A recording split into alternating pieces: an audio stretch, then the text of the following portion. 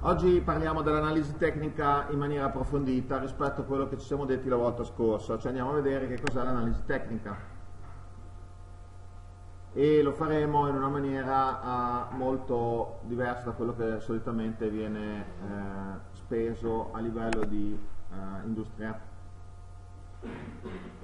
Allora diciamo la vulgata sull'analisi tecnica vuole che l'analisi tecnica tra virgolette sia stata inventata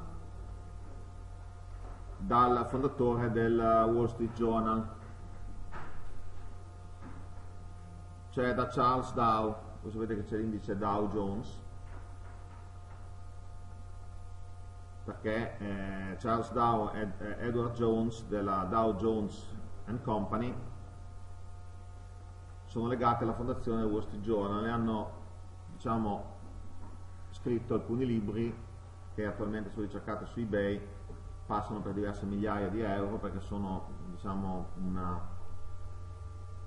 sono le basi della partenza dell'analisi tecnica c'è un mio collega che li aveva comprati per diverse migliaia di euro e li esibiva nella sua scrivania il libro di Charles Dow. Eh, in realtà l'analisi tecnica mh, mm, non è stata tra virgolette inventata da Dow Jones, ma è nata a metà del 1800 eh, a Chicago eh, in maniera molto empirica. Nel senso che la rappresentazione grafica dell'andamento dei prezzi eh, trae le sue origini da quello che è l'empirismo o positivismo a livello filosofico, quindi eh, partire dall'esperienza dei mercati per costruire delle metodologie empiriche per la previsione dei corsi azionari e delle commodities.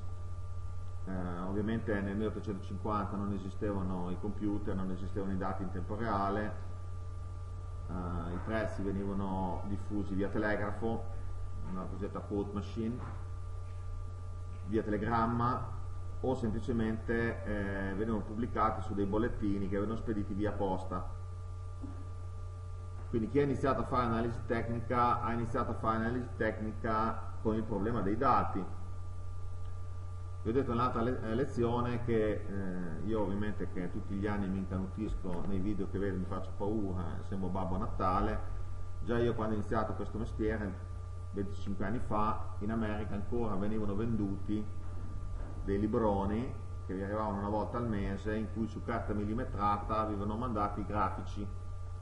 Voi sceglievate non so 100, 100 commodities oppure 100 azioni e arrivava questo librone via posta in cui il, il, eh, le date dei due o tre mesi successivi erano lasciate in bianco quindi uno gli arrivava il librone poi tutti i giorni o con un bollettino via posta o con eh, telegrammi o con eh, la quote machine o semplicemente copiando i dati dal Wall Street Journal uno andava a eh, segnare quelli che erano i prezzi di borsa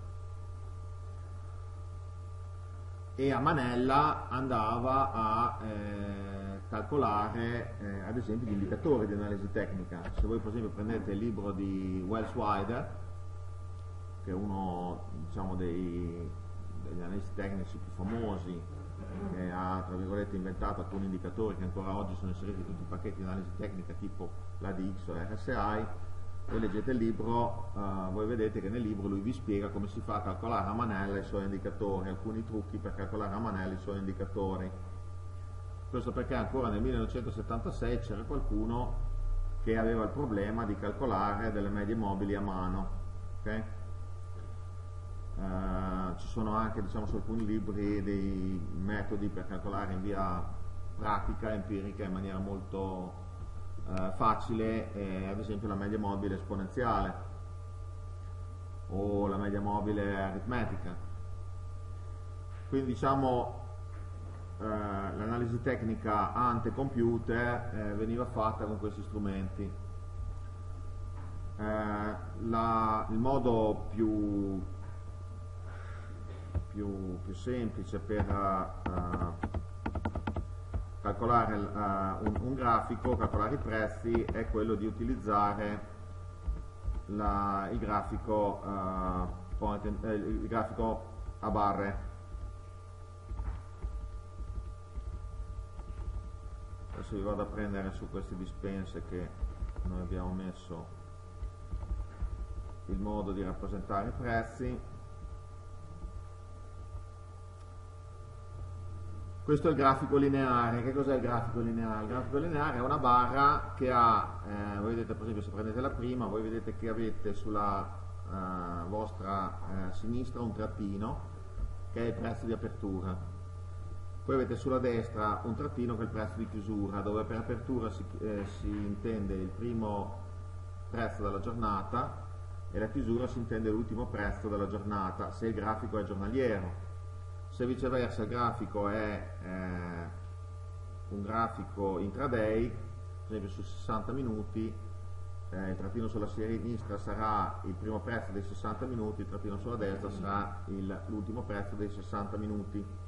Quindi diciamo sarà eh, il primo prezzo dalle 10 alle 11 dove quello delle 10 è rappresentato dal trattino sulla sinistra, quello delle 11 è rappresentato col trattino sulla destra.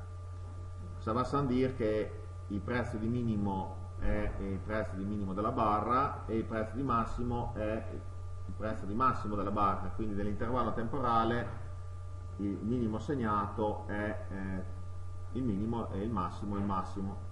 Cosa significa? Significa che se voi lo vedete formare una barra, per esempio su barre da un minuto, voi vedrete che avrete prima il trattino sulla sinistra, poi il trattino sulla destra si muove per l'intero minuto, quindi può corrispondere al trattino sulla destra col prezzo del minimo al prezzo del massimo, no? perché a 30 secondi non si è ancora fermato il prezzo della, eh, sulla destra, no? il trattino sulla destra è, è ancora là che oscilla, si fermerà quando la barra arriva al suo completamento, cioè quindi dopo un minuto e poi parte subito col trattino sulla sinistra, avete visto nel percorso di dall'olio, parte col trattino sulla sinistra. Un altro modo per eh, tratteggiare i prezzi è quello di utilizzare il prezzo lineare, no? questo, che di solito sono i prezzi di chiusura. Ovviamente con un, con un grafico lineare voi perdete tutte quelle informazioni che sono date da apertura e chiusura e soprattutto l'escursione della barra, cioè il massimo meno il minimo. Una barra che avrà un'elevata chiusura, cioè un'elevata differenza tra massimo e minimo, è una barra si dice che ha un'elevata escursione. Una barra con elevata escursione tipicamente è una barra che eh, indica momenti o di inversione, se l'apertura e la chiusura sono vicine, ma lo vedremo tra poco, o di forte direzionalità se diciamo l'apertura la, la, è sui massimi e sui minimi, la chiusura sui massimi e sui minimi, se l'apertura sui massimi, la chiusura sui minimi o viceversa. Esiste un altro modo di rappresentare le barre che è quello del cosiddetto delle candele giapponesi. Eh, la storia delle candele giapponesi è abbastanza particolare nel senso che eh, arrivano in, in Europa negli anni 70 grazie a un libro di un signore che si chiamava Shimizu eh, che ha scritto questo libro si chiama The Japanese Charts of Charts che trovate dei prezzi folli su, su Amazon usato per non più in pubblicazione in cui lui per la prima volta eh, annuncia al mondo occidentale eh, che già in, in, Giappone nel 1600 la borsa di Osaka a suo dire esistevano delle pergamene in cui i giapponesi disegnavano i grafici sostanzialmente colorando il corpo. Quindi se la barra è nera vuol dire che la chiusura è eh, ribassista rispetto all'apertura, se la barra è bianca vuol dire che la chiusura è rialzista, quindi questo significa che qua c'è stata l'apertura e qua c'è stata la chiusura, quindi questa barra, questo, questo bel candelone bianco è una barra rialzista, cioè quindi la chiusura è superiore all'apertura. Viceversa se la, la, barra è nera, nera cattivo, è stata una barra ribassista, la chiusura è inferiore all'apertura. Okay? L'utilizzo delle, delle, candele giapponesi ha l'indubbio vantaggio di rappresentare immediatamente eh, un trend eh, che è eh, positivo, quindi eh, quando vedete dei bei candeloni bianchi sapete che il mercato sta tirando, vedete dei candeloni neri vedete che il mercato sta scendendo. In realtà, questo non ve lo dice nessuno, ve lo dico io, eh, quello delle candele giapponesi poi si è trasformato eh, in uno strumento commerciale, nel senso che un signore americano che si chiama Steve Mason, come fanno i soldi americani, si è inventato una favoletta che è andato in, Stati, in Giappone, poi tramite un'amica tradotto dalle antiche pergamene, i samurai, la rave e la fava, e si è inventato le candele giapponesi in salsa commerciale.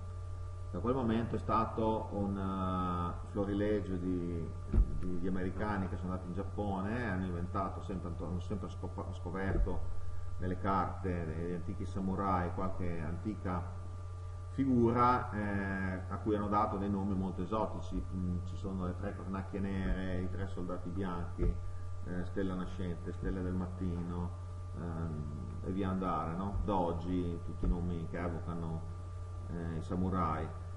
In realtà, eh, se mi posso permettere, eh, nessuno ha mai visto un grafico del 1600 con le antiche candele giapponesi, sarebbe facile perché basta fargli una foto e me lo fanno vedere.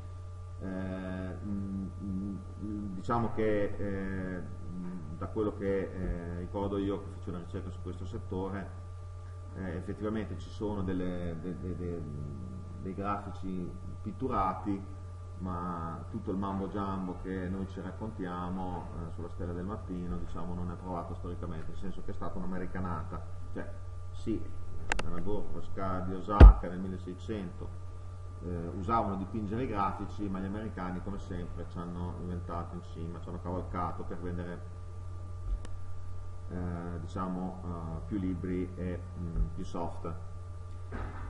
Eh, anche il grafico point and figure, che è un grafico che viene venduto come una, una magia, eh, è in realtà eh, ha una ragione di tipo storico allora, vi ho detto che nell'epoca in cui non esiste, ovviamente queste cose ve le racconto solo io, eh, cioè non è che eh, diciamo, la, se voi andate su Amazon e battete point and figure vengono fuori 200 libri in cui vi spiegano i segreti del point and figure, no?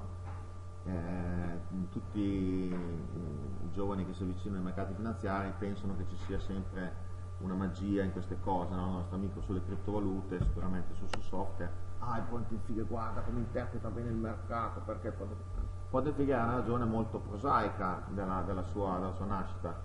Eh, ehm, voi pensate quando non ancora esistevano i computer e uno doveva fare un grafico di borsa. Allora è più facile tutti i giorni mettersi lì, prendere il Wall Street Journal e disegnare una barra, cioè apertura, minimo, massimo, perché voi quando disegnate una barra partendo dal massimo, minimo e chiusura, se ne disegnate tante, cosa dovete fare? non dovete, cioè partite fate apertura, un trattino, massimo un altro trattino, perché voi non sapete se il massimo corrisponde con la chiusura, minimo un altro trattino, chiusura un altro trattino. Solo dopo che avete fatto questo gioco congiungete il minimo col massimo e avete la barra. Ok? Allora pensate se uno lo deve fare su 100 azioni tutti i giorni, quando gli passa. ok? Allora qualcuno ha ragionato e ha detto ma a me cosa interessa dei grafici? Interessano i grafici che si muovono. No? Voi pensate a un mercato che tutti i giorni fa apertura 5, massimo 10, minimo 2, chiusura 7, apertura 5, massimo 10. Tutti i giorni voi come dei bamba state lì a segnare sempre la stessa grafica, no? Allora io devo andare a segnare il grafico quando si muove, quindi che cosa faccio? mi invento il point and figure. Point and figure significa che ogni pallina è un movimento di 10, ogni croce è un movimento di 10 a ribasso, quindi ogni pallina è un movimento di 10 a rialzo, ogni croce un movimento a ribasso.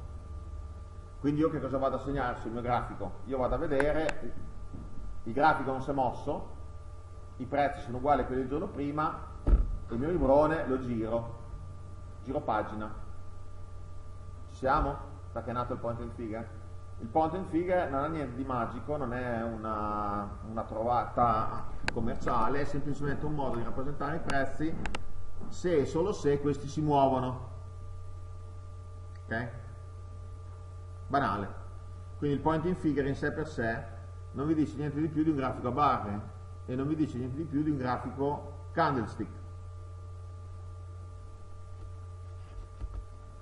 Uh, da qua ovviamente eh, sono nati, gli americani in, questa, in, questo settore sono veramente bravi, eh, milioni di tipi di, di grafico. C'è il grafico Kaji, il grafico Renko, il 3 line break, il candle volume, cioè ogni anno eh, l'industria si inventa un, un, nuovo tipo di grafico che ovviamente era sempre usato gli antichi, non so perché tutti vanno sempre a pescare gli antichi samurai, forse perché nessuno sa leggere il giapponese, quindi no, si vede che quando hanno, hanno barato fin dall'inizio dopo eh, è facile barare, no? adesso per esempio va di moda un, un, altro grafico che si chiama Ikimoku, che non so cosa sia, no? eh, mm, si vede che qualcuno in America si è inventato il grafico, grafico Ikimoku, sempre tutti ovviamente gli antichi samurai scrivono del grafico Ikimoku e c'è gente che scrive newsletter, per esempio c'è uno in Italia che scrive una newsletter sul grafico Ikimoku, no? non so che cosa sia, non so cosa, ah, non lo voglio neanche sapere, c'è un grafico, un grafico è, eh, non è perché se c'è il, eh, il Kaji o il Renko diciamo, cambiate eh, la, la, situazione.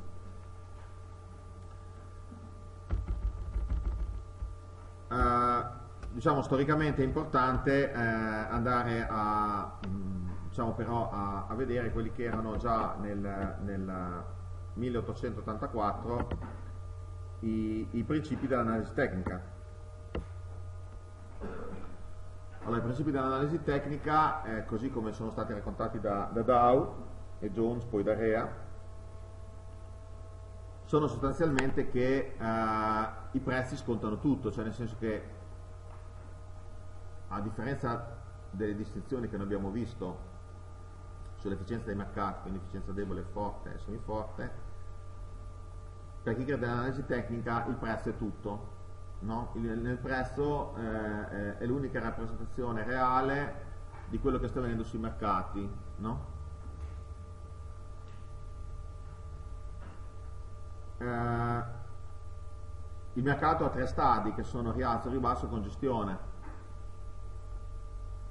da cui il famoso adagio scende o sale o in orizzontale. Statisticamente un mercato non va da nessuna parte per il 70% del tempo.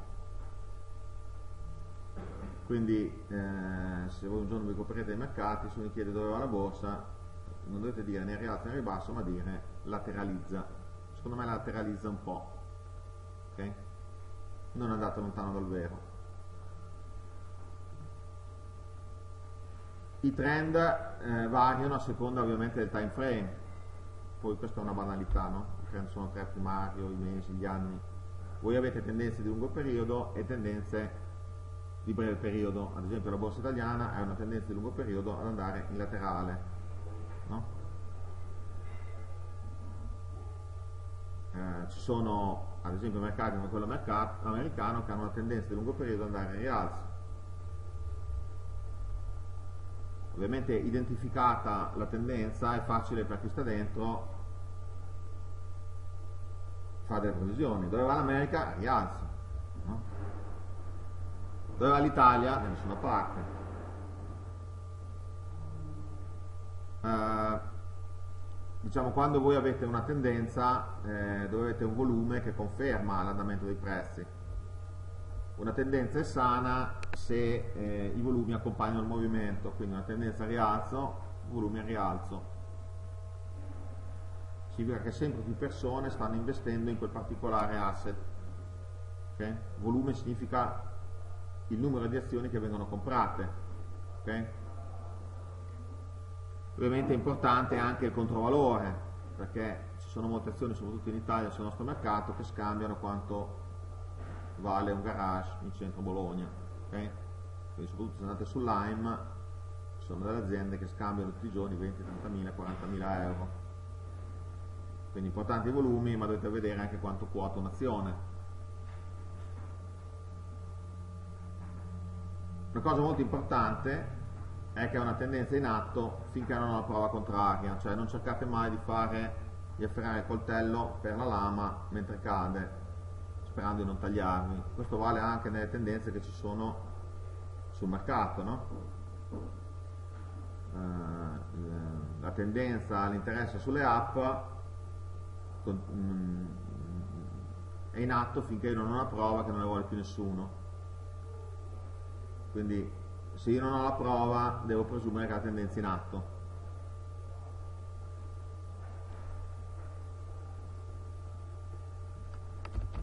Andiamo a vedere in dettaglio come si fa a identificare un trend. L'identificazione di un trend, eh, faremo gli esercizi la prossima volta, vi porterò eh, 5 grafici e faremo eh, diciamo una, delle esercitazioni senza nessuna valutazione, che è una parte abbastanza divertente. Eh, e eh, oggi ne andiamo a identificare. Allora, un trend si definisce come due massimi eh, crescenti allora se voi andate a eh, vedere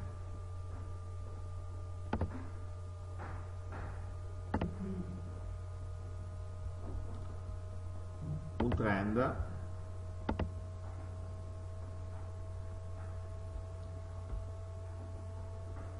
Un trend a rialzo.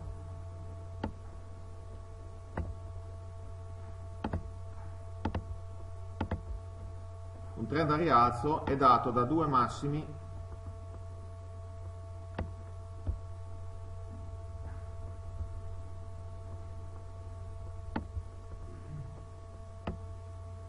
e due minimi crescenti. In questa situazione voi vedete che io ho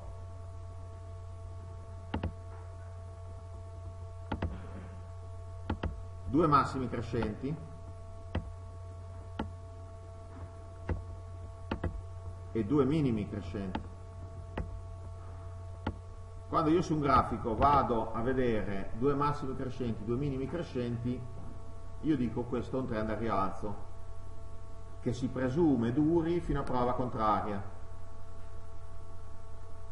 Ci siamo?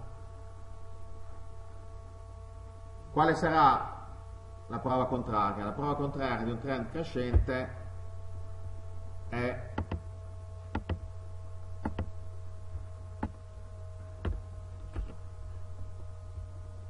due massimi e due minimi allineati a ribasso.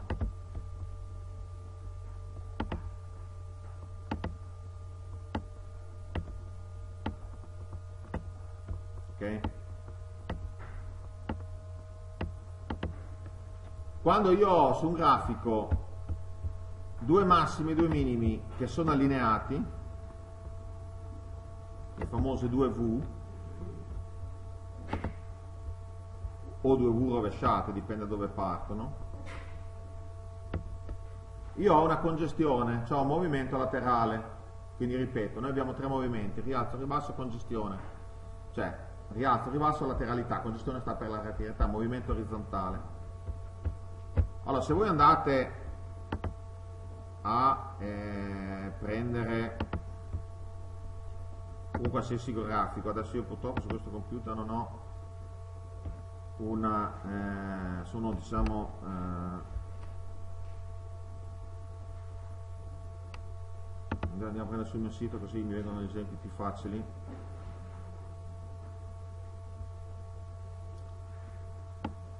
Andiamo a prendere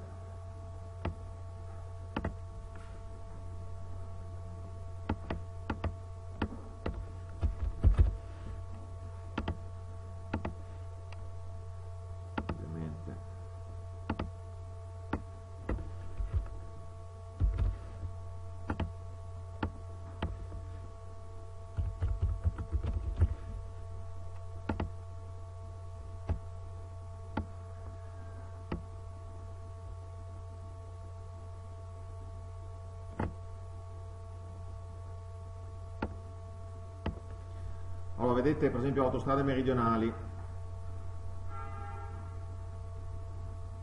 Autostrada meridionali ha fatto sostanzialmente un trend decrescente, vedete? Minimo questi minimi sono allineati de facto. Adesso non facciamo i geometri precisini a dire. Questi due minimi sono allineati, questi massimi sono allineati. Questo minimo è inferiore a questo minimo che è inferiore a questo minimo qua mi ha fatto una sparata, vedete ha chiuso, questa è la barra verde corrisponde a una barra bianca, cioè una barra rialzista, la chiusura ha corrisposto con questo massimo e corrisposto con questo massimo, poi il giorno successivo ha aperto su, oltre i massimi, ma non è riuscito a confermare il trend, cioè i ragazzi ci hanno provato, hanno provato a pompare sul titolo e poi è crollato e ha segnato un minimo inferiore a questo minimo. Quindi io che cosa posso dire di questo titolo? Posso dire di questo titolo che è ribasso. Perché vedete che io ho dei minimi o allineati o decrescenti? Ok? Poi ho di nuovo un massimo, ma un massimo che è inferiore a questo mio massimo. Ci siamo? E di nuovo io ho un minimo che è inferiore a questo minimo. Ci siamo? Diciamo che sono dei minimi decrescenti e dei massimi che non riescono a rompere il massimo precedente? Io perché ho pubblicato questo articolo? Ho pubblicato questo articolo perché ho detto occhio, occhio ragazzi, che noi abbiamo per la prima volta dei volumi strepitosi. Vedete che questa barra dei volumi è superiore a tutte le barre dei volumi precedenti? Ci siamo? E ho dei prezzi che mi stanno, formando, mi stanno forzando i massimi precedenti. Cioè se io avessi una chiusura che non ho, perché vedete che qua ho una chiusura che è poco sopra 28,5 ma inferiore a questo massimo, quando io ho una chiusura superiore al massimo precedente, io che cosa ho? Ho un cambiamento di tendenza. Ok? Cioè inizia a vedere le corna del toro. Andiamo a vedere se ci sono degli altri, degli altri segnali interessanti. Adesso purtroppo la situazione è ribassista, quindi si fa fatica a trovare, si fa fatica a trovare, ecco, vedete qua ci sono degli altri grafici più sexy.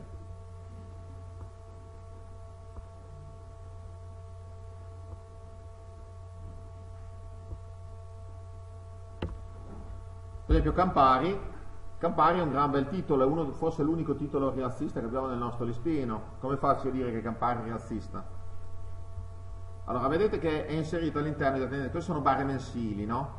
Barre mensili dal 2015 che mi fanno un massimo superiore a tutti i massimi precedenti, un minimo superiore a tutti i minimi precedenti, un massimo superiore a questo massimo, un minimo superiore a questo minimo, ci siamo che quando io ho un massimo superiore a un massimo, un minimo superiore a un minimo, io ho una tendenza a rialzo? Ci siamo? Allora già qua era un buy con questo bel barrone bianco, questo bel candelone bianco. Poi io continuo. Io ho un massimo superiore a questo massimo, superiore a questo massimo, superiore a questo massimo. Questo minimo. Ehi, criptovaluta, muto. Questo minimo superiore questo minimo, superiore questo minimo, questo minimo superiore questo minimo, superiore questo minimo, superiore questo minimo, questo massimo superiore questo massimo, superiore questo massimo, superiore questo massimo, questo massimo superiore questo massimo, superiore a questo massimo, questo minimo superiore questo minimo, questo minimo superiore questo minimo, superiore a questo minimo, questo massimo, questo massimo, questo massimo, questo massimo, questo minimo, capite che sono tutti massimi e minimi crescenti? Ok? Se noi andiamo a vedere sul daily, che cosa ha fatto sul daily? Sul daily ha innanzitutto mostrato dei volumi che sono spettacolari, no? Come mai era successo negli ultimi, dall'inizio di agosto, quindi agosto, settembre, ottobre, novembre, da quattro mesi, spettacolari.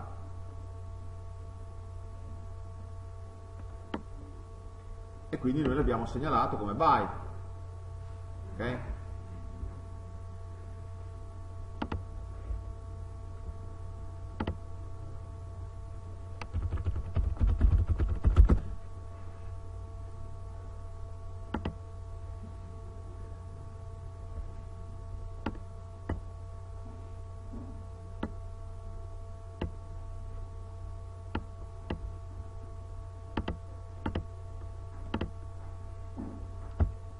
L'abbiamo segnalato per esempio anche sul giornale.it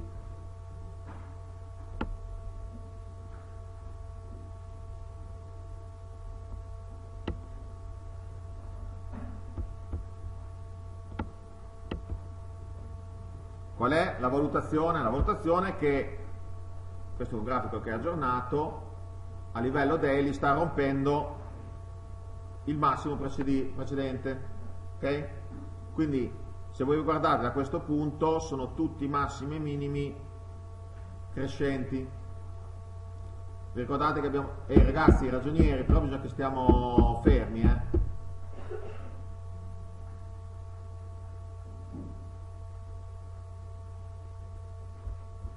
Quindi voi vedete che ci sono dei, eh, dei massimi e dei minimi allineati a rialzo.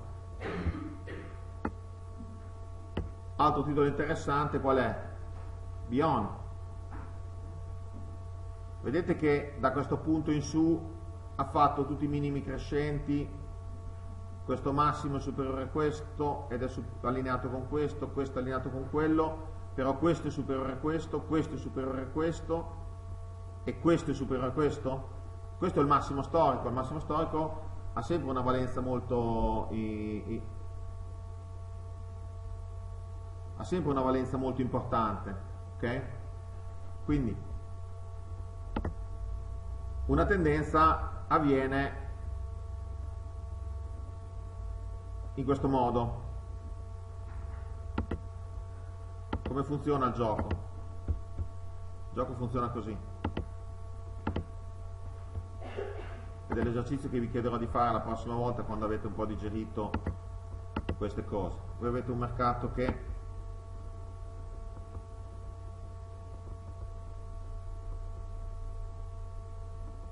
cos'è questa? Una? Ok. A un certo punto avete un mercato che rompe questa congestione. In questa situazione avviene un meccanismo che è a livello di psicologia comportamentale, direste voi, molto particolare. I prezzi che io ho indicato all'interno del cerchio rosso sono dei prezzi dei massimi rispetto ai prezzi precedenti. Ci siamo? Ci siamo che i prezzi che ho indicato nel cerchio rosso sono superiori a tutti quelli precedenti? Allora, voi siete il nostro amico delle criptovalute, siete nella vostra cameretta in località? No. Ok, dove abiti tu? Ok, ok, ci farei diventare tutti ricchi. Ah, ok, up and ok, vuol Samara, Camaragana. Dove abiti tu? Ah, allora, voi siete a Ponte Ronca, nella vostra cameretta e vedete un grafico come questo, ok? Qual è il segnale che vi sta dando? ok? Allora, senza capire niente delle criptovalute, senza capire niente delle azioni, senza, cioè voi non avete informazioni da insider, ok? Non avete informazioni da insider. Voi vedete semplicemente che sul mercato c'è qualcuno, facciamo che sia un'azione perché è più, è più facile, che sta comprando a dei prezzi massimi rispetto a tutti quelli che ci sono precedentemente. Secondo voi chi sta comprando sui massimi? Che informazioni vi sta comunicando? che lui ha delle informazioni tali per cui è convinto che se compra sui massimi cosa farà successivamente? Rivenderà a un prezzo più alto, no? Siamo? Allora ovviamente c'è l'osservazione e se lui non ha quelle informazioni ma sta barando, perché questo è il sospetto, no? Allora quando uno compra, non sono le previsioni del tempo, no, domani hanno previsto neve, io devo andare a Empoli per lavoro, ho comprato il biglietto del treno. Finché la previsione rimane a livello domani nevica e io non faccio nessuna azione, è una previsione. Nello nello momento in cui io compro il biglietto del treno, sto impattando sulla realtà. Ci siamo che sto impattando, perché col portafoglio, ho preso fuori il portafoglio, ho preso fuori dalla fresca, che per chi non è di Bologna significano quel del denaro, e ho comprato un biglietto del treno. Qual è il primo effetto del fatto che io ho comprato un biglietto del treno perché ho paura della neve? Che ho pagato il doppio, perché tutti stanno comprando biglietti del treno domani perché girano col lavoro, non vogliono prendere la macchina. Siamo? Allora, nello stesso momento in cui io compro sui massimi, non è una previsione, non sto comunicando al mercato un'idea, cioè non è un articolo di giornale, ok? Non è un'opinione. Allora, se voi vedeste che oltre ai prezzi, qua ci sono anche i volumi, i volumi sono le barrette che sono sotto, che adesso non riesco a disegnare perché sono troppo in basso.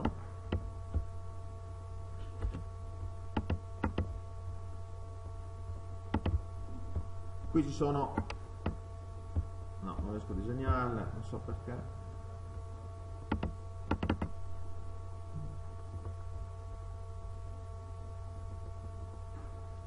Se voi vedeste qua anche dei volumi apocalittici a rialzo, significa che non solo voi state comprando, ma anche quelli grossi stanno comprando e vi mettete in coda.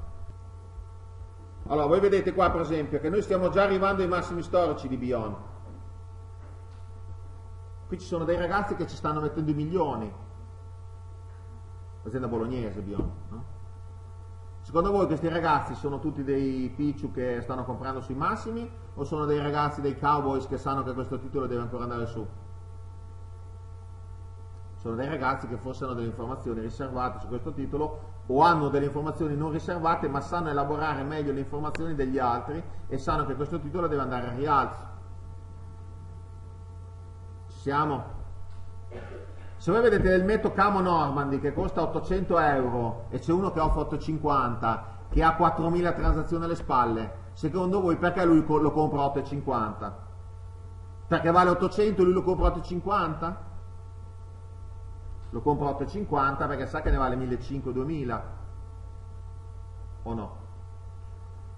La stessa cosa con la borsa. Quindi perché eBay vi mette le offerte con il numero di transazioni, perché è un'informazione vitale per sapere se quell'elmetto è buono o non è buono. Quello è un gran bel elmetto, un elmetto da 2000, da 2000 euro. Ok? Quindi quando io vedo che arriva a 900 e mi sta scadendo l'asta e c'è uno che a 950 mi passa davanti, secondo voi uno che ha 2000 transazioni, mi passa davanti 950 su 900 perché mi, vuole rubare quei, quei 50, vuole guadagnare quei 50 euro. Perché lui non ha niente da fare, no? Non ha niente da fare, quindi dice, ah, 50 euro adesso lo compro, poi divento matto come lo devono consegnare, lo pago su PayPal e poi dopo lo devo rimettere in asta, è tutto per guadagnare 50 euro. Secondo voi è, è così, no? Lo fa per guadagnare 50 euro o lo fa per guadagnare 1000? Lo fa per guadagnare 1000. Quindi la stessa cosa che avviene su eBay, su un, un pezzo di antiquariato, avviene su una, uh, un'azione.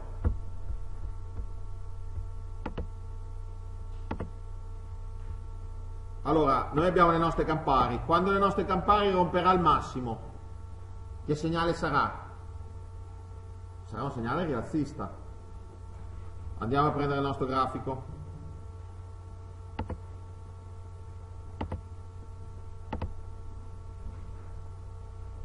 Io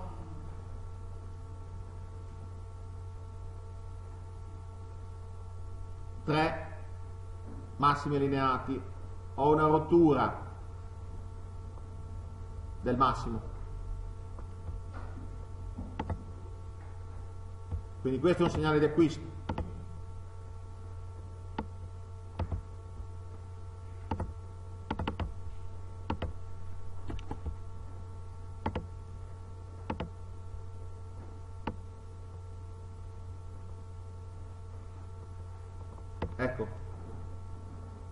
Voi qua potreste già avere la condizione due massimi crescenti, due minimi crescenti.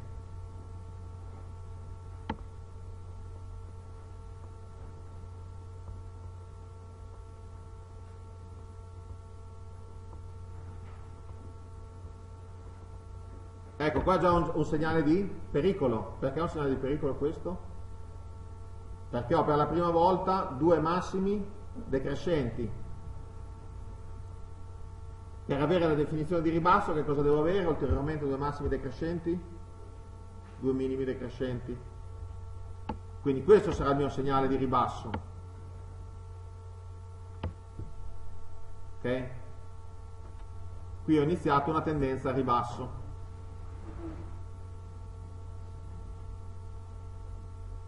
Quando avete una congestione non è detto che vada sempre su.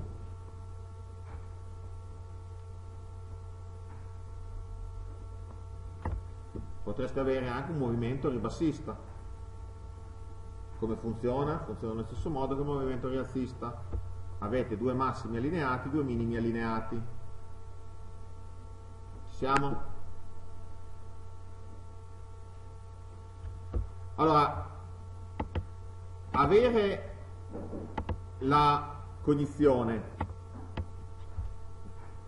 dei massimi e dei minimi allineati vi impedisce di fare come quella signora che mi ha detto comprato a Staldi quando perdeva il 28%, il giorno dopo ha perso il 48%. Se voi guardate il grafico di quella situazione era evidente che c'erano dei minimi e dei massimi allineati verso il ribasso. Ok?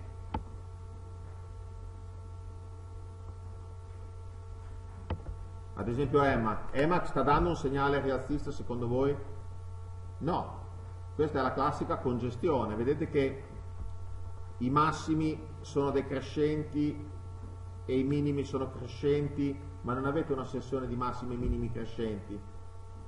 Che diciamo sono delle V, una più piccola dell'altra il cosiddetto triangolo che adesso vedremo.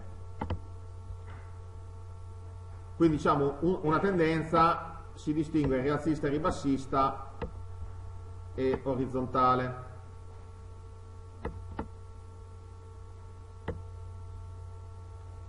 Il volume deve confermare l'andamento della, della tendenza, l'abbiamo visto ad esempio su Bion, su Campari, vedete che qua su Campari adesso non si vede molto bene, ma vedete che ci sono degli spike di volumi che sono superiori a, tu, a tutti i volumi precedenti?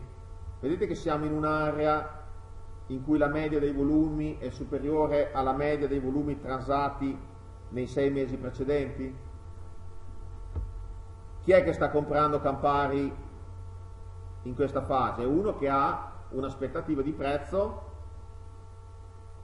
no? So il discorso dell'elmetto, se l'elmetto quota 100 c'è uno che lo compra a 950, ok?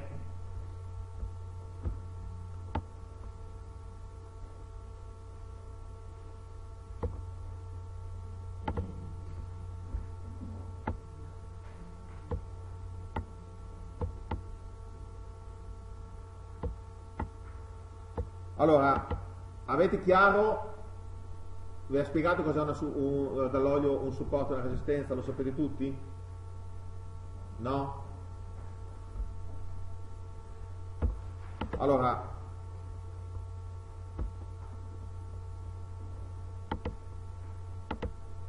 questo che vi sto eh, per dire attiene alla finanza comportamentale.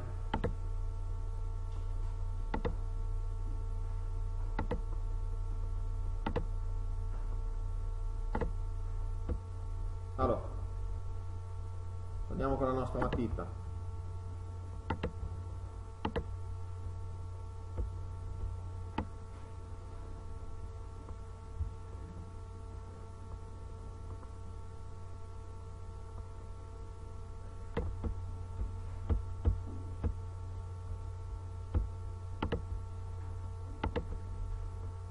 Cosa è successo in quest'area qua?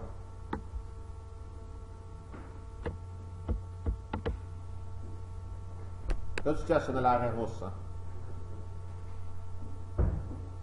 È successo che nell'area rossa ci sono dei prezzi, no?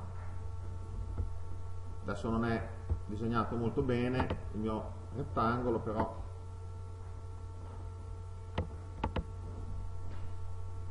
sono dei prezzi c'è qualche sciagurato che ha comprato sui massimi? Ovviamente non era il nostro amico di Ponte Ronca perché lui compra sempre sui minimi. Però c'è qualcuno che ha comprato sui massimi ok? e che non ha venduto. Ci siamo che c'è qualcuno che ha comprato sui massimi e ha comprato sui massimi una, due, tre, quattro volte cioè non è una cosa che è avvenuta una volta sola. Cioè quest'area disegnata in rosso non è uguale a questo punto. Perché quest'area è costituita da quattro punti. Ci stiamo che quest'area di prezzo è più importante di questo singolo punto perché il mercato ha speso più tempo all'interno di quel box all'interno di quell'area il mercato ha speso più tempo che all'interno di questo punto è evidente, no? Siamo che è evidente? Ok, allora quelle persone che hanno comprato in questi quattro cerchi e che sono ancora lunghe, quando arriva qua iniziano a perdere. Poi qua sono tutte clamorosamente in perdita. Qua arriva la depressione, qua non dormono di notte, qua inizia le crisi coniugali, ah perché hai comprato quell'azione, te l'avevo detto di non comprarla, io adesso scappo, torno dalla mamma, eh? qua no? Qua mancanza dell'appetito sessuale, perché ovviamente c'è uno no, che ha rubato di suoi risparmi si sente... Qua si butta giù dal balcone. Eh? Siamo che sono sono stati fatti gli studi psicologici e tutti i fenomeni che vi ho detto sono dei fenomeni tipici di chi perde soldi in borsa, no? eh, astenia, insonnia, no? depressione, disturbi di coppia, scatti di ira. Eh? Che cosa sogna questa gente in questo periodo? Loro sognano che come in una magia le azioni qui segnino un minimo e poi uh, e tornino là. Non sognano questo? E appena i prezzi tornano allo stesso punto in cui loro hanno comprato, che cosa fanno? Vendono, la coppia si ricongiunge, lei torna a casa dalla mamma, lui riprende a dormire, no? È il mondo che torna nella sua classica direzione. Quindi io senza sapere né leggere né scrivere, in quest'area che cosa posso presupporre? Cioè quando io sono qua e col binocolo guardo al prolungamento di quest'area, quando io sono qua, eh, io sono qua e guardo in alto, io che cosa so per certezza nel mio, nel mio cerchio arancione? Cosa so per certezza che succederà? Mi devo aspettare un flusso in acquisto o un flusso in vendita? E in vendita, perché sono tutti quelli che sono stati imbrigliati qui dentro che qua mi vendono. Ci siamo? Questo flusso in vendita si chiama resistenza, cioè i prezzi che qua sono spinti dalla domanda, da un eccesso di domanda rispetto all'offerta, perché se i prezzi salgono c'è un eccesso di domanda rispetto all'offerta. Quando arrivano in quest'area hanno la tendenza a fermarsi, si chiama resistenza. Ok?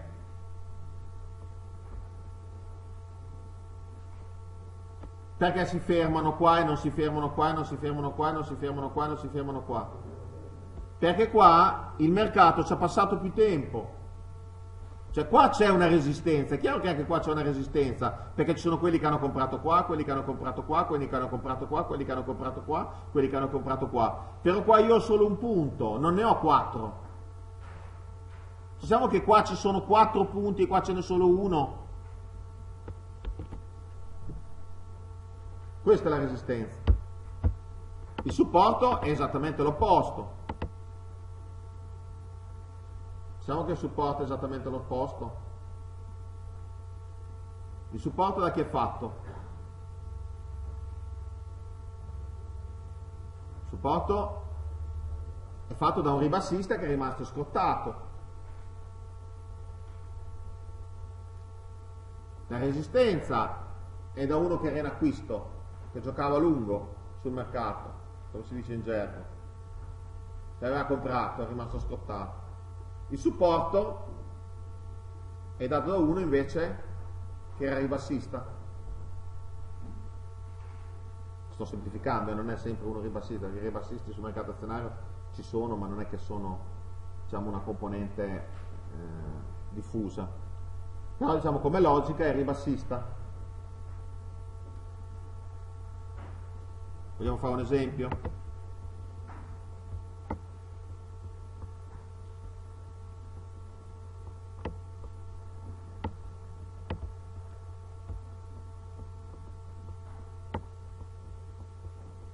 mi rompe sui massimi, io sono il nostro amico trader di Ponte Ronca, che cosa fa lui quando vede un massimo? Va short, perché sulle criptovalute i breakout non funzionano, vero? Non sì. Però tu sai quando funzionano. Quindi lui che cosa fa qua? Va short. Ok? Quindi significa che lui vende Quando il mercato arriva lì, lui sta perdendo o sta guadagnando? Eh? Perde, sta perdendo perché lui ha venduto a ribasso il mercato gli è venuto in faccia e sta andando su. Quando, quando sta, sta di nuovo perdendo, no? Diciamo che sta già perdendo lì? Che cosa sogna di notte? Scenda che i prezzi tornino qua, no? Perché quando tornano qua lui chiude pari e patta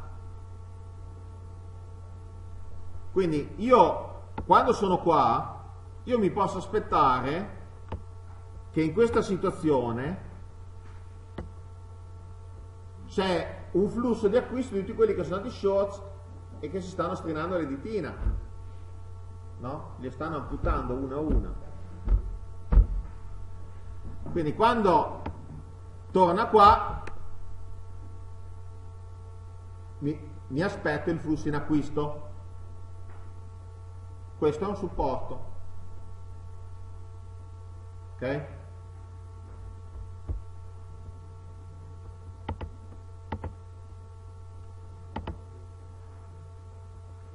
Allora, spiegato questo, questo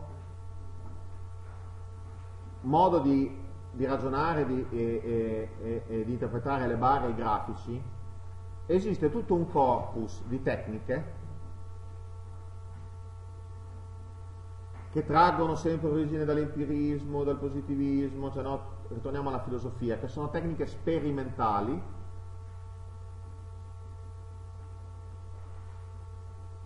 le quali vi danno la possibilità di misurare il trend. La produzione di queste, questo è importante, eh? la produzione di queste tecniche, di queste metodologie, nell'analisi tecnica classica, è sterminata le trend line, le medie mobili, la DIS, l'RSI, la RAVA, la FA, ce ne sono milioni, triangoli, teste e spalle, eh, no? Mil milioni di queste metodologie empiriche. Importa conoscerle tutte? No. Perché l'analisi tecnica classica, ve lo ripeto per l'ennesima volta, e ci saranno almeno 3-4 domandine nei compiti, è nata a metà del 1900, cioè 1850-1860, in America, nella borsa di Chicago, per creare delle regole da praticoni per interpretare i grafici. Ma non avevano i computer, non le hanno testate. Quando i computer e la potenza di calcolo è diventata chip e accessibile a tutti, hanno iniziato a testarle e lì è nata l'analisi tecnica moderna cioè basata sui test statistici del computer, su multichart, su questi software. Quindi sono due mondi separati. Quando voi vedete nella letteratura scientifica, no? Purtroppo nella letteratura scientifica, per esempio Journal of Science, riviste anche prestigiose, che dicono facciamo il test dell'analisi tecnica classica e scoprono che l'analisi tecnica classica non funziona, stanno scop- scoprendo l'acqua calda, perché l'analisi tecnica classica è stata fatta da un, un, un, mercante ciccione di bestiame del 1850 di Chicago che ha inventato delle regole del pollicione che nel 90% dei casi non funzionano 90% dei casi oggi abbiamo l'analisi tecnica moderna poi anzi bisognerebbe dire oggi abbiamo il deep learning no? cioè siamo andati anche oltre quindi inutile che ve la prendete, cari accademici, con l'analisi tecnica classica, perché l'analisi tecnica classica non funziona. Perché oggi nell'industria si continua ancora a parlare di analisi tecnica classica, quindi di trend line, di medie mobili, no? si continua ancora a parlare di test a spalla, di triangoli. Perché, continua... Perché soprattutto l'industria finanziaria di basso livello, quella per il retail, ha bisogno di dare l'impressione agli investitori, soprattutto privati, di essere in controllo. Quindi continuamente produce tutti questi grafici fosforescenti, il CAGI, il RENCO, l'equivolio, il Murai, le tre cornacchie bianche, le tre cornacchie nere, cioè, ogni, cioè proprio un'industria che produce fumo da vendere a chi sta a credere a queste cose. Siccome la mamma degli imbecilli è sempre incinta, è, un mercato che è fiorente da, da sé, sarà sempre fiorente. Ci sarà sempre quello, la, la favola di, no, del, del, gatto eh, e della volpe eh, e dell'albero degli, del campo degli, degli zecchini. Quindi è inutile prendersela con l'analisi tecnica classica. L'analisi tecnica classica a monte si sa che non funziona, perché, perché viene proposta oggi ad ogni peso spinto? Perché serve all'industria. Okay? Se io non ti dico che con questa piattaforma magica, con i grafici colorati, tu saprai operare con le criptovalute e, e, e guadagnerai un sacco di soldi, andrai a scuola a Tomasini a fare paranacchi a Tomasini di finanza aziendale, la fai poi te perché io faccio soldi con le criptovalute, si, si sgonfia il, il, il meccanismo. No? Il meccanismo sta in piedi se e solo se io do come industria la percezione al, al, mio utilizzatore che con una piattaforma sia possibile, con delle trend line che tutti stanno a tirare, perché appunto è una regola del pollicione, di prevedere i corsi di borsa. Ok? Questo ovviamente non c'è scritto sui libri, ve lo dico io, ma purtroppo è così. Quindi da qua in poi sono tutte metodologie, che io vi chiederò all'esame, sono tutte metodologie che risalgono a 200 anni fa, che vi danno la possibilità di interpretare i grafici, ma che non hanno niente a che vedere con l'analisi tecnica moderna. Quando si parla di analisi tecnica moderna, che è un mio copyright, perché ho inventato io l'analisi tecnica moderna, diciamo c'è stato qualcuno prima come Thomas Demar che ha detto The New Science of Technical Analysis, non ho usato la parola moderna, però de facto ci sono stati autori nella pubblicistica dell'analisi tecnica che hanno tracciato il solco, hanno detto bene, fino adesso erano dei praticoni, cappello per voglio dire in base al, diciamo, alla loro esperienza hanno, hanno, dato delle regole, però da adesso in poi andiamo col computer, quindi diciamo, non, non, andiamo più a raccontarci che eh, i bambini nascono sotto i cavoli e andiamo a prendere un computer, andiamo a testare queste regole, facciamo pulizia, il 90% lo buttiamo via, ringraziamo chi l'ha creato ma lo buttiamo via e ci teniamo il 10% che è buono. Okay? Quindi quando si parla di analisi tecnica bisogna sempre distinguere analisi tecnica classica e analisi tecnica moderna. Le trend line non hanno niente di magico, non è un'arte, le trend line le potete testare, ok? La stessa cosa i triangoli, la stessa cosa, ormai si può testare tutto, ok? Quindi oggi come oggi in un corso universitario eh, eh, di informatica per il management andare a parlare di uh, trend line a mio avviso, cosa che viene fatta in tutta Italia ma non faccio io, ha un sapore di tipo storico, no? cioè l'analisi tecnica connessa alle trend line. Allora, che cos'è una trend line? Ovviamente vi ho insegnato la regolina del, eh, dei massimi e dei minimi. La trend line è un modo per andare a, a, a definire un, una tendenza in maniera univoca, no? perché se noi andiamo a prendere massimi e minimi, vedremo quando farò fare gli esercizi, esercizi la prossima volta, ovviamente quello che io vedo come un massimo, se non lo definisco, potrebbe essere, non è solo per lei. Invece quando io ho una, una, una, una, tendenza a rialzo e dico che la trend line mi deve congiungere tutti i minimi, adesso l'ho tirata male ovviamente, no? È una linea retta, sì, cioè è una linea retta che congiunge tutti i minimi come in questo caso, io ovviamente vado a, vado a dare delle regole precise, no? per esempio questa è una trend line discendente, 1, 2, 3, quando mi è rotta, quando eh, il, il mercato rompe la trend line, io devo iniziare a ragionare di un possibile fine della tendenza ribassista, che non è avvenuta subito, ma è avvenuta dopo poco. Stessa cosa qua, 1, 2, 3, quando me lo rompe qualcosa di brutto deve succedere, no? Quindi la trend line di congiungere i minimi per identificare una tendenza a rialzo e eh, quando c'è la rottura, adesso questi sono esempi non venuti troppo bene, c'è la rottura a ribasso, o tracciare dei canali la, cui, la, la, la cui uh, fuoriuscita da questo canale indica un cambiamento di tendenza, sono delle tecniche molto da praticone, ok? Ma voglio dire, no, non, non, devono essere prese oggi per oggi come eh, il sacro graal dei mercati finanziari, no? Voi sapete che sui mercati finanziari sono gente che, non so, eh, vende delle newsletter in cui eh, dà le previsioni basandoli eh, basando i calcoli sull'astronomia. Quindi mi ricordo quando ero giovane che scrivevo per Repubblica, avevo fatto un articolo intervistato il capo eh, de, de, delle gestioni di, della Nomura, che era una, una banca giapponese, e, e, gli avevo chiesto se lui credeva alla, all'astrologia cinese, no? sapete che loro hanno un'astrologia diversa dalla nostra, il cane e il gatto, no?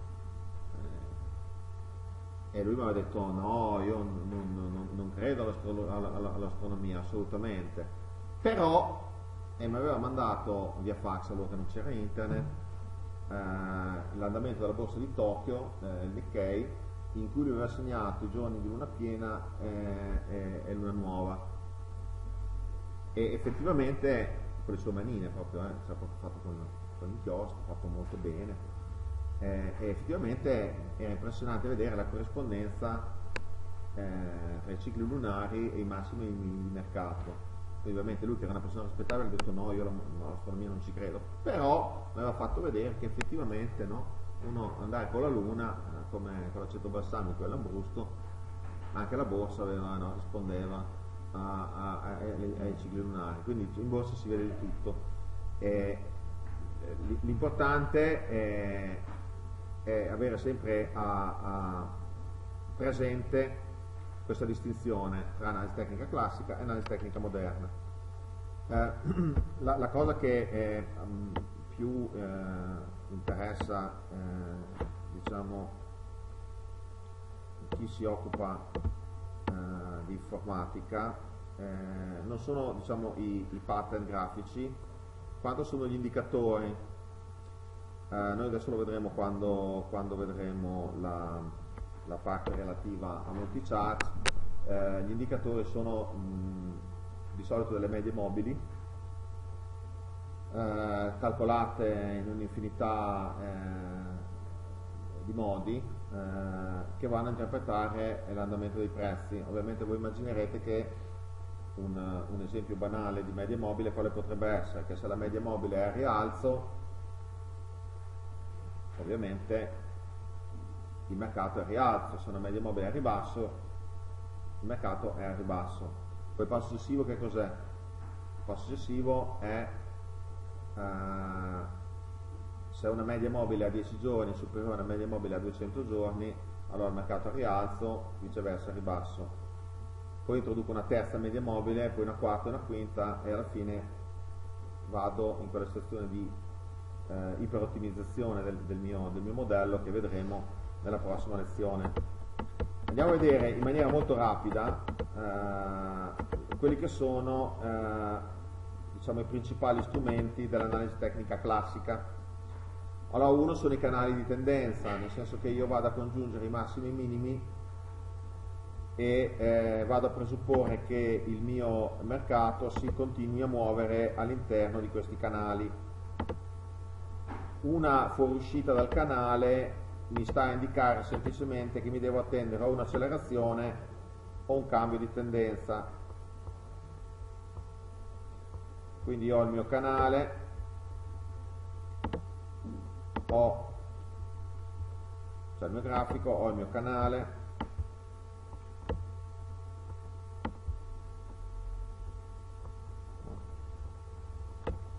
io mi attendo che eh, i miei prezzi continuino a oscillare all'interno del canale, ovviamente rimbalzando quando toccano il punto di minimo eh, e rimbalzando a ribasso quando tornano al punto di massimo. Laddove io ho una violenta uscita dal canale, fuoriuscita dal canale, ovviamente devo presupporre che da quel momento i prezzi scendono. Viceversa, se io ho una fuoriuscita dal, canale a rialzo, io devo presupporre che i prezzi esplodono. Ok? Questa è un po' la logica del canale.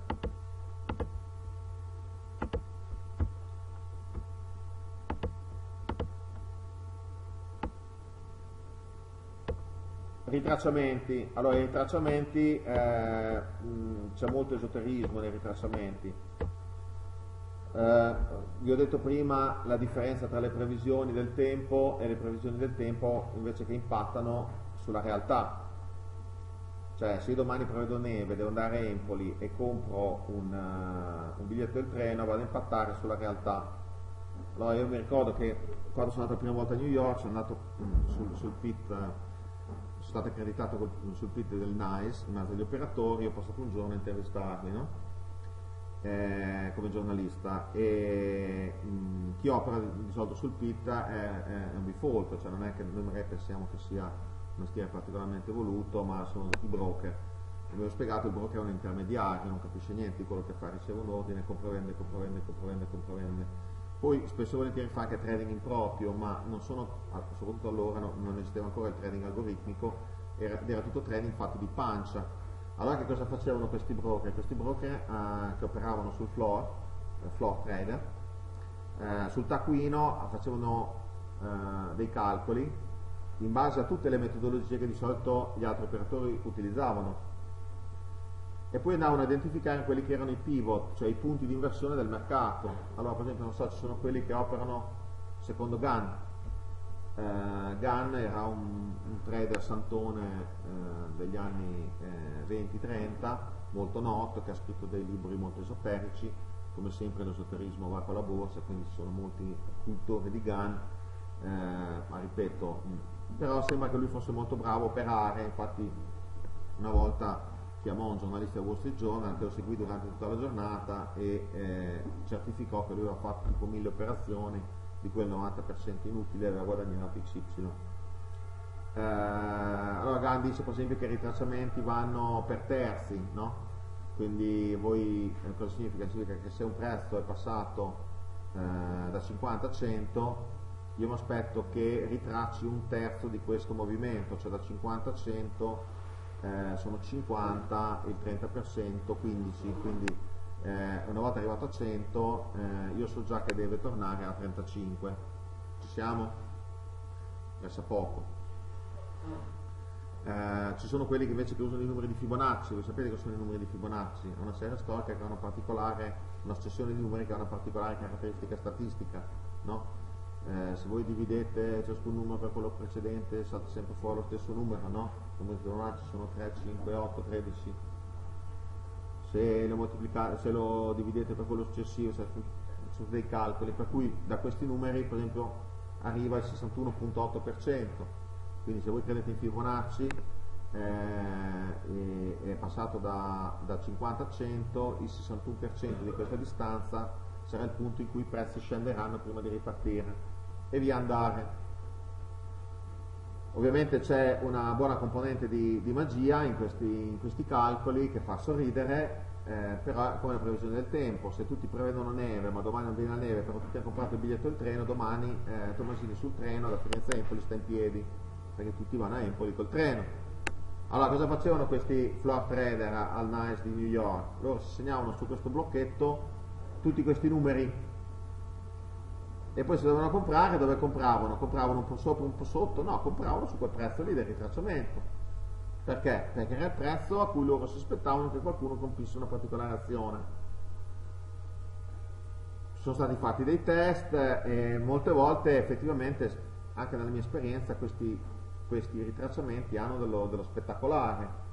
Ovviamente io non credo ai numeri di Fibonacci, non credo ai fondi di caffè, era una pila una nuova, però mi aspetto che eh, su quei prezzi ci sia una reazione. Quindi soprattutto nell'intraday, se c'è su quei prezzi una reazione, ovviamente è come eh, prevedere che domani da Firenze Santa Maria Novella ad Empoli il treno sarà murato. Sarà murato perché tutti quelli come Tomasini che devono andare in macchina vanno in treno. Quindi al 61.8% se uno deve comprare compra là, se ci crede. È una possibile spiegazione perché a volte questi numeri siano, eh, prevedono spettacolarmente i punti di inversione. Avevamo parlato per esempio dell'escursione della barra, no? eh, io avevo detto che una barra quando, quando è molto ampia significa un punto di inversione del mercato. Cosa significa? Significa che il mercato è disorientato. Ci siamo che se il massimo e il minimo sono distanti, vuol dire che in quel giorno non c'era la stessa uniformità di pensiero. Cioè se hai una barra, un bel candelone bianco, rialzista, ci siamo che è come un'elezione, in quel giorno il mercato ha votato che il titolo doveva andare a rialzo perché hanno comprato tutti. C'era un candelone bello grosso. Ci siamo?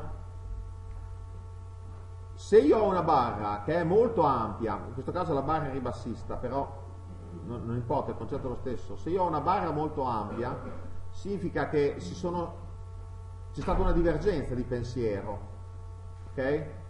Cioè la, la, la, la barra ampia è un mercato che prima di decidere dove andare ha discusso molto. Diciamo che la barra ampia è come la lunghezza della discussione di un'assemblea, hanno discusso molto, hanno trattato molto, ci sono state diversità di opinioni, poi alla fine in questo caso hanno deciso di andare al rialzo. Vedete che prima le barre erano tutte, avevano un'ampiezza tutta piccola rispetto a quella di decisione, di solito quando la barra è ampia si chiamano reversal day, cioè sono barre che vi dicono che il mercato ha votato qualcosa di importante, di solito di cambiare direzione. I gap, cosa sono i gap? I gap sono eh, li vedete in questo grafico, delle parti di grafico in cui il mercato non ha tradato. Cioè io ho un'azione che quota da 7 a 8 e il giorno dopo apre a 9 e chiude a 10. Cioè lo spazio tra 8 e 9 non c'è nessuno che fa una trattazione, nessuno che fa una domanda, nessuno che fa un'offerta. Perché? Perché ovviamente il mercato di solito quando sono in gap è molto forte, cioè il mercato è talmente convinto che quell'azione deve andare su che un giorno quota da 7 a 8, il giorno dopo apre a 9 e chiude a 10. Cioè il mercato non c'è nessuno che ha un dubbio che possa quotare 8,5, no. Tutti sono rialzisti. Infatti di solito si chiamano runaway gap, cioè un mercato in corsa che è talmente in corsa che non si preoccupa, cioè non ha nessun dubbio. Cioè da 8 a 9 no, proprio è da 10 a 11 il prezzo.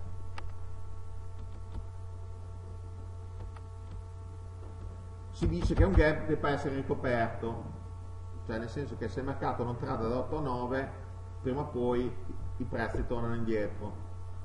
Questo fa parte, secondo me, di un meccanismo diverso, nel senso che quando il mercato strappa, è come un elastico, poi torna sempre indietro, no? Cioè a un certo punto c'è qualcuno che dice, ma come? Questa azione che da 5 è passata a 10 è, è raddoppiata di prezzo, ma effettivamente se lo merita di raddoppiare di prezzo? e quindi c'è un, un ritorno alla media. Allora, ovviamente su, sui test spalla, sui triangoli, su, sui cunei, sulle bandiere, che sono le principali figure di inversione, eh, si è accanita l'analisi accademica, la, la, la, gli accademici sono accaniti per dimostrare che non funzionano. Allora, io non ho mai fatto, mh, come market practitioner, una, una differenza tra i nomi diversi che vengono dati a queste figure perché eh, comunque la mettiate, per esempio questo vedete che è un test spalla, vedete qui c'è una spalla a sinistra, poi abbiamo la testa e poi di nuovo la spalla destra, questa è una figura di inversione che si chiama testa e spalla. Che cos'è un testa e spalla? Sono tre massimi allineati e due minimi allineati.